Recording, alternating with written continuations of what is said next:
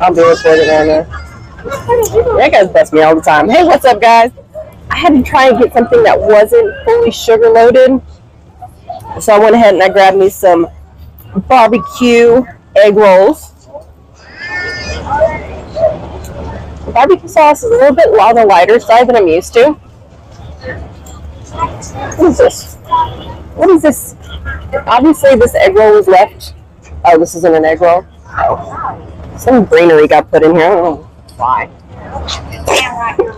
Alright. Try not to make a mess. I got two egg rolls right here.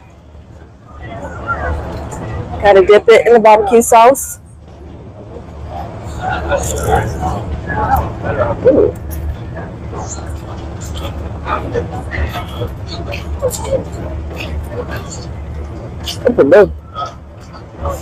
This. Ooh.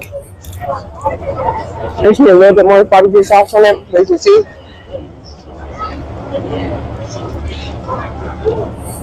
It's really good. I guess it's better than eating all sugar all day. you know, it's either gonna be fried or sugar. So hopefully I can find some a little bit more fried stuff rather than just sugar based.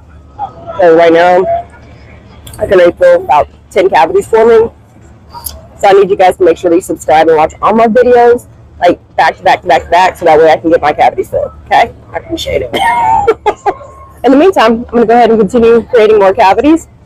And I'll see you guys next time. As always, stay tuned, stay jazzy. Thanks for watching, guys.